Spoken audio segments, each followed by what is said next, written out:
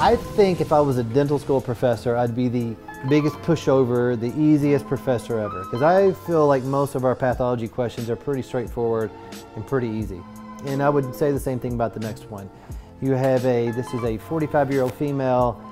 She was seen by her dentist. She has a discoloration on her gums, uh, asymptomatic. There's no pain associated with this. It's been there for a long time. So my question is, is what is this lesion? And like I said, this is a pretty straightforward one.